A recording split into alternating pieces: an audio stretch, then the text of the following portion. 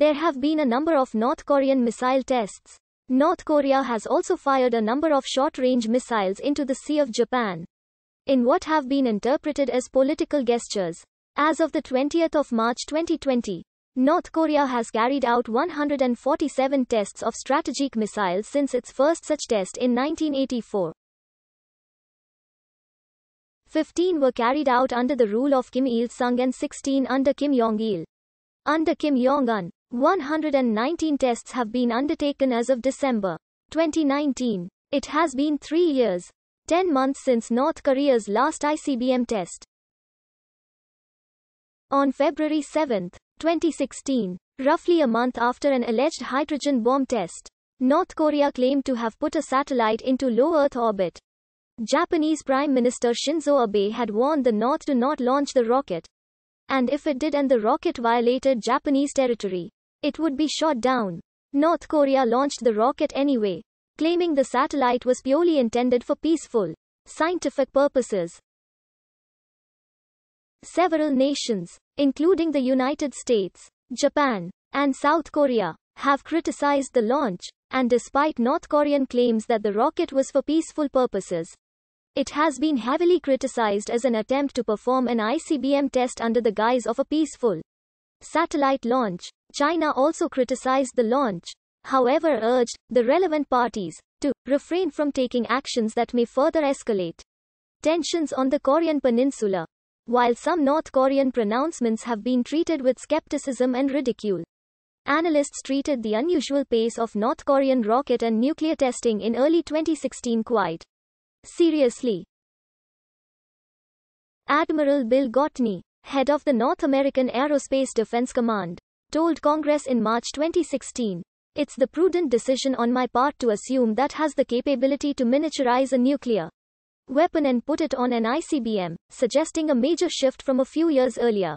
North Korea appeared to launch a missile test from a submarine on April 23, 2016, while the missile only traveled 30 kilometers. One US analyst noted that North Korea's sub-launch capability has gone from a joke to something very serious. North Korea conducted multiple missile tests in 2016. On August 29, 2017 United Nations Secretary-General Antonio Guterres has condemned the latest North Korea ballistic missile launch and termed it as violation of relevant UN Security Council resolutions. As according to press reports, early Tuesday morning, the North Korea ballistic missile traveled some 2,700 kilometers flying over Japan before crashing into the Pacific Ocean.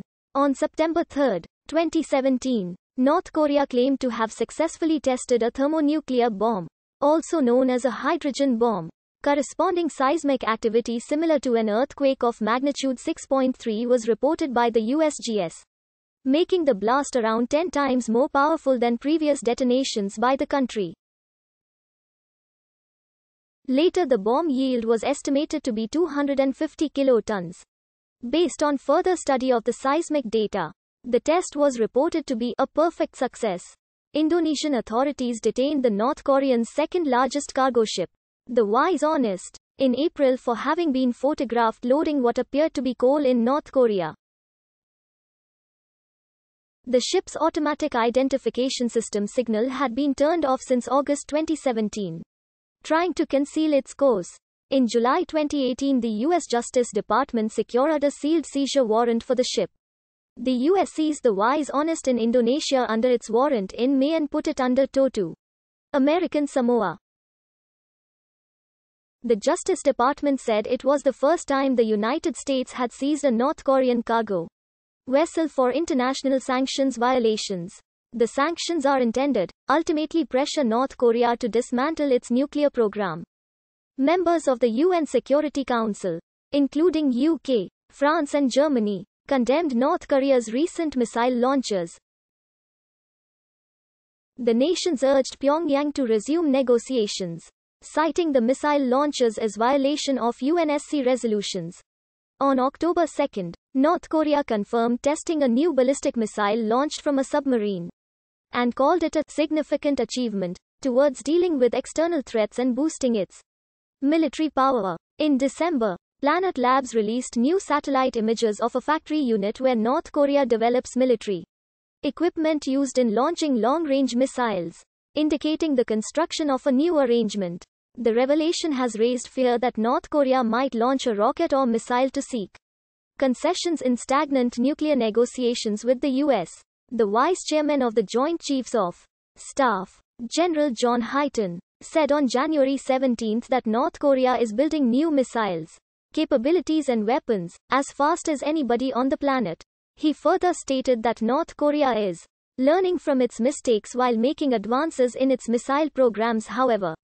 Under Secretary of Defense for Policy John Rood later told the House Armed Forces Committee on January 28 that North Korea did not go through